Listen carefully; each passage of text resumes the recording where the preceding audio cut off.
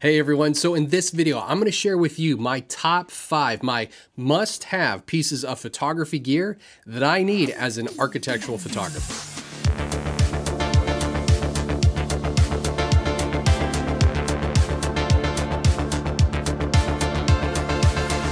So if you're new to the channel, my name is Matthew. I'm a full-time architecture and interiors photographer, and the point of my channel is just to share some tips, tricks, suggestions, whatever may be, things that are just specific to the genre of architecture photography. So to clarify, these are my personal top five pieces of photography gear. This is not a absolute list. These are pieces of gear that if I have a job here in the city and I'm halfway to the job and realize I don't have it with me, I'm turning around, going right back home or going right back to the office to pick it up.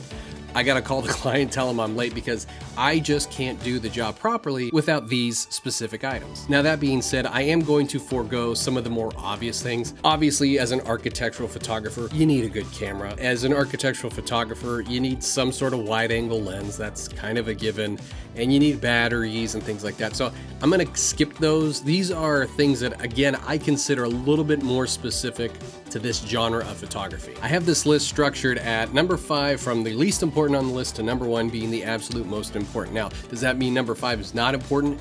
No, not at all. Again, if I still don't have number five on me when I leave the house and I realize I don't have it, I'm still turning the car around to go pick it up. So let's get to the list. Number five, a tilt shift lens. Now, if any of you watching this and you've been an architectural photographer for any extended period of time, this is kind of a given. To new architectural photographers, tilt shift lenses may not seem that important, but the longer that you do the job, you do start to run into situations where you will realize, ah, I wish I had a tilt shift lens in this specific type of scenario. These lenses allow you to make different types of photos that a standard zoom or prime lens just cannot take. They help you get really, really creative on different types of compositions and shots that you otherwise would have not been able to, or at the very least, just would have been really, really difficult to get on, say, a standard type of lens. And the more you start to work with the shift lens, you'll start to learn little really subtle techniques and tricks you can do to really fine tune and perfect your use of these type of lenses. Personally, at the moment, I have two of these lenses. If you saw my other video concerning tilt shifts, you know I have a 24 millimeter Canon, but I also recently purchased a Venus Optics Laowa. I hope I'm saying that right. Laowa 15 millimeter shift lens. Now keep in mind, I did not say tilt shift lens because there's absolutely no tilt functionality with this lens. But if you are an architectural photographer, I say there's little to no chance you will really ever need the tilt functionality of one of those lenses. Someday I might do a full-fledged review on this lens, but a big reason I got this lens was because I use Sony camera bodies and this type of lens can mount directly onto the Sony body as opposed to say my Canon 24 millimeter tilt shift where I need a Metabones adapter to use it on, uh, on the Sony. Number four is one of these five in one foldable uh, reflectors, diffusers, whatever you want to call them. Over the years, the longer I've been an architectural photographer, I realized how convenient these things actually are. Now, the reason they're called 5-in-1s is because really at its core, this thing is just a foldable diffuser with kind of a reversible jacket that's on top of it. The jacket part of it is four additional things you can use to affect or reflect the quality of light for whatever you're shooting. This side obviously being a nice silverish reflector, but then on the other side is just kind of flat matte black surface. Now, like I mentioned, this silver and black side is reversible. So if you unzip it off of the diffuser, which there is the diffused part right there, on one side we have a nice warm goldish surface, and then on the other side just kind of a pure plain white surface. I cannot tell you how many scenarios I came across where this thing came in extremely handy. Maybe you're setting up your shot and you realize there's daylight coming in through a particular window that you'd ideally like to block and maybe doesn't have blinds on it. Put one of these things up on a stand, set it right in front of the window, and boom, the light from that window is completely gone. Maybe there's light coming in through a window that, in your opinion, is a little bit too harsh and you'd really like it to be soft and diffused. Take the jacket portion off and set the diffuser right up against the window and now you have nice, soft, diffused light coming in through the window. Or say you wish there was natural, soft light coming in from a direction that just doesn't exist. Put this up on the white side pop a flash right into it, and then you have nice, soft light coming in from a direction that's completely custom and specific to the shot you're taking. Item number three. So this one's gonna be kind of a combination of two items. The first being an easy setup and tear down softbox, as well as a battery monolight, flash, or speedlight. The combination of this softbox, or to be more technical, it is an octabox. The combo of this matched with my monolight or my battery powered flash, it's it's almost a no-brainer to have on a shoot, especially with the softbox being so easy to set up and tear down. The Octabox itself is 36 inches, so it's large enough where in some scenarios it can mimic window light pretty darn well, but it's also not so big that it's cumbersome to use to light up specific items or pieces or areas of a room. All right, item number two is my Cam Ranger 2. I absolutely loved this thing. I initially bought the first Cam Ranger, I'd say roughly about a year or two after it came out. I'd been shooting architecture and real estate for a while.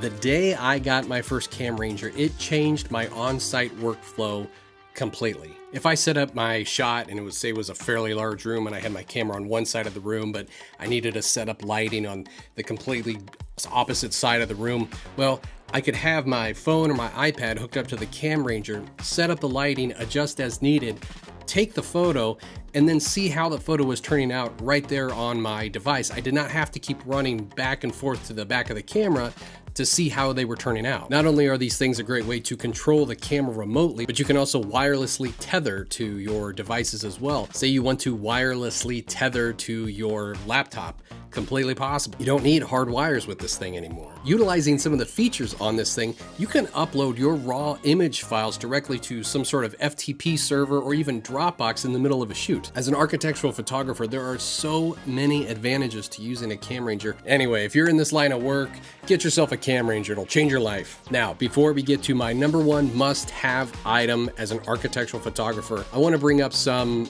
honorable mentions. These are items that if I'm heading towards a job and I realize I don't have them on me, I will regret not having them on the shoot. I will be okay, I'll manage, but I really, really wish I would have had them there on the shoot. First off being, and I'm not gonna show them here on camera because they're, they're absolutely huge and they're folded up. And that is a big black cloth and a big white cloth. Now, much like the foldable reflectors, the black and white cloths do an amazing job at either blocking light, reflecting it, or diffusing it. The advantage with the cloths though is the size. So both the white and the black cloths are 10 feet by 20 feet. So say if I'm in a scenario where there is a wall of windows that I cannot simply block with just the foldable reflector, but now using the black cloth will be an advantage because of just simply how big it is. The same goes for if I want to create a custom direction of light or say diffuse light coming from a certain area. I can set up the white cloth on some light stands and have basically this gigantic wall of white, shoot a flash into it. Now I have this massive wall of soft diffuse light coming from a direction that's custom to me and just that scene. My other honorable mention is just